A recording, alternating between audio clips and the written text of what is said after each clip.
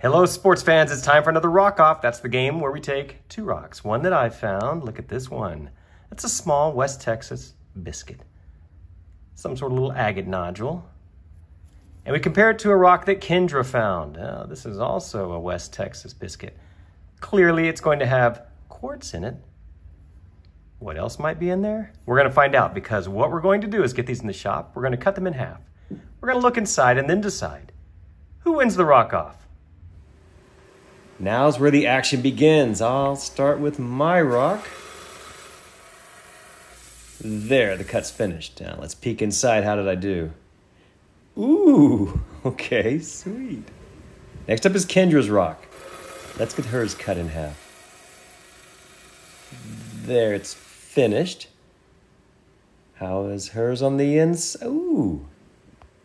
Okay, rock fans, all the cutting's finished. Now we can actually play the rock off. Let's begin with mine. How did I do? Did I pick a good agate? From the outside, it looks rather plain. Wouldn't expect much, right? Well, what about the inside? Wow. I was not expecting this. That is a beauty. I love that banding. And as you can see, it's that shadow banding. How cool, right? For the contest, we will go with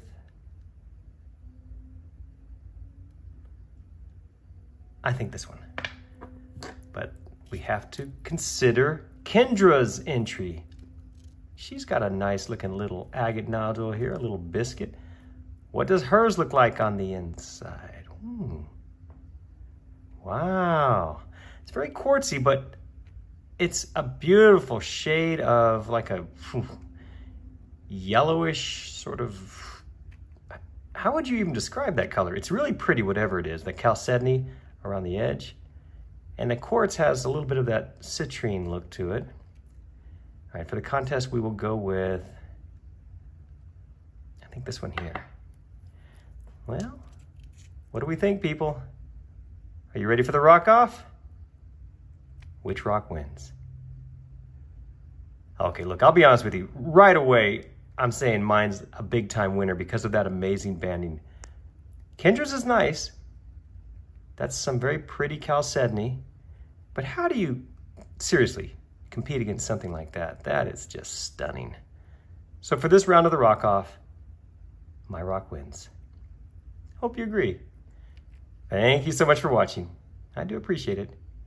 Oh, and remember to check my other videos for more like this. Thanks again.